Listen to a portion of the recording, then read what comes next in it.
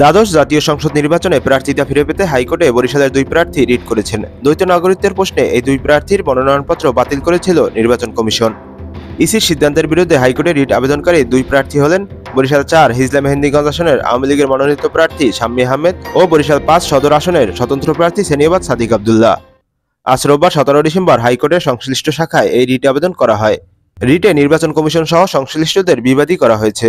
এ সংক্রান্ত বিষয়ে হাইকোর্টের বিচারপতি মোহাম্মদ ইকবাল কবির ও বিচারপতি এস এম মনিরুজ্জামানের সমন্বয়ে গঠিত বেঞ্চে পারমিশন নিয়ে শাম্মী আহমেদের রিট করেছেন বলে জানান তার আইনজীবী শাহ মোহাম্মদ মঞ্জুরুল হক।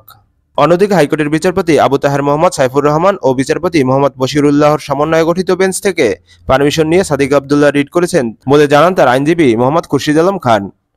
আগামী সাত জানুয়ারি ভোট গ্রহণের দিন ঠিক করে দ্বাদশ সংসদ নির্বাচনের তফসিল ঘোষণা করে প্রধান নির্বাচন কমিশনার কাজী হাবিবুল আউয়াল। ঘোষিত তফসিল অনুযায়ী এই নির্বাচনে মনোনয়নপত্র জমা দেওয়ার শেষ সময় ছিল তিরিশে নভেম্বর পর্যন্ত। যাচাই বাছাই চলে এক থেকে চার ডিসেম্বর। মনোনয়নপত্র প্রত্যাহারের শেষ দিন আজ রোববার সতেরো ডিসেম্বর।